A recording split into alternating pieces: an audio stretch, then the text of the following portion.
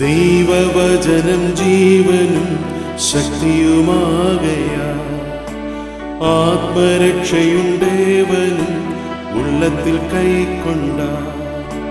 ആത്മമരണം മാറും നീതിയിൽ അവൻ വാഴും.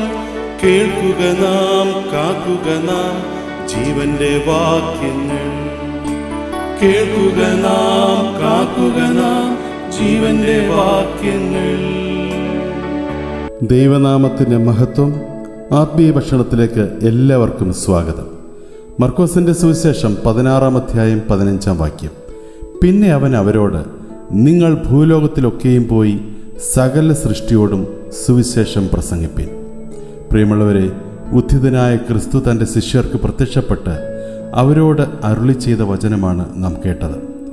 സകലരോടും സുവിശേഷം അറിയിക്കുക എന്നതാണ് ഒരു ക്രിസ്ത്യാനി എന്ന നിലയിൽ നമ്മുടെ ദൗത്യം. നമ്മിൽ വസിക്കുന്ന ദൈവത്തെ മറ്റുള്ളവർക്ക് കാണിച്ചു കൊടുക്കുവാനും ജീവിതത്തിൽ ദൈവം ചൊരിഞ്ഞു നൽകുന്ന നന്മകളെ സാക്ഷ്യപ്പെടുത്തുവാനും നമുക്ക് സാധിക്കണം.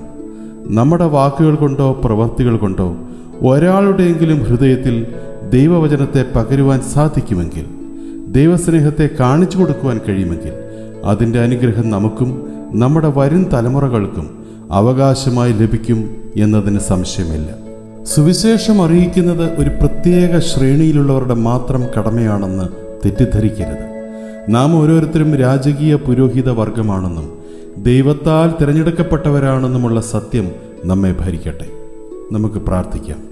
വചനമായി അവതരിച്ച ഞങ്ങളുടെ ദൈവമേ അവിടുത്തെ തിരുവചനത്തെ അനുസരിച്ച് അവയെ ജീവിതത്തിൽ പാലിക്കുവാനും മറ്റുള്ളവരിലേക്ക് പകർന്നു നൽകുവാനും ആ വചനം ഞങ്ങളുടെ ഹൃദയങ്ങളിൽ നൂറുമേനി ഫലം കായ്ക്കുവാനും അങ്ങനെ സ്വർഗരാജ്യത്തിന് അവകാശികളായി തീരുവാനും ഞങ്ങൾക്കെല്ലാവർക്കും അവിടുന്ന് കൃപ നൽകണമേ. ആമേ ആത്മീയ ഭക്ഷണം.